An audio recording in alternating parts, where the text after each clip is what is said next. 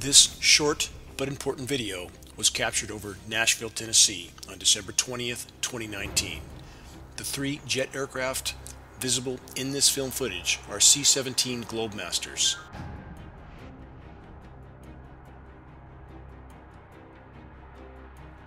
The only entities that possess these aircraft, C-17s, are military. What you see occurring in this video are U.S. military cargo tanker aircraft dispersing materials into the atmosphere.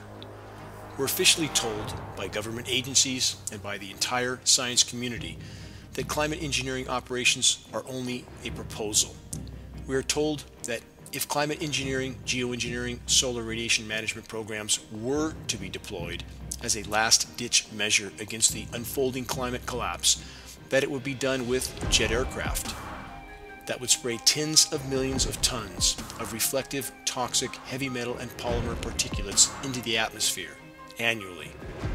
We're told this atmospheric spraying, if it were to be deployed, would look exactly like what we are already seeing in our skies. Yet we are told that what we are seeing, we are not really seeing. How long has the US government been experimenting with and developing methods to spray particulates into the skies? For nearly 100 years. As this patent for artificial cloud creation from the 1920s reveals, and as the nearly 100 year old biplane spraying demonstration makes clear. Even now, as our skies are so often crisscrossed with lingering, expanding emissions from jet aircraft geoengineering dispersions, sometimes covering the entire horizon, we're emphatically told by all official sources that climate engineering operations are, as stated earlier, only a proposal and that anyone who says otherwise is a, quote, conspiracy theorist. Question. What are we to believe? The official lies pushed on us by an ever more desperate power structure, or what we can see with our own eyes?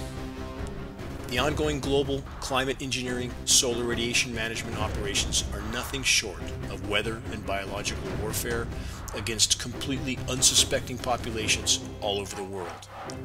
We're told geoengineering programs are our last hope to slow down the unfolding climate collapse.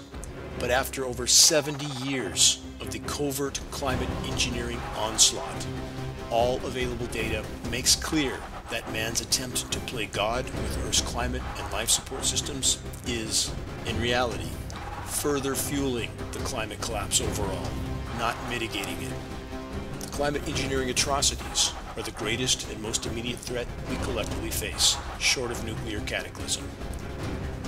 All of us are needed in the critical battle to expose and halt the climate engineering insanity.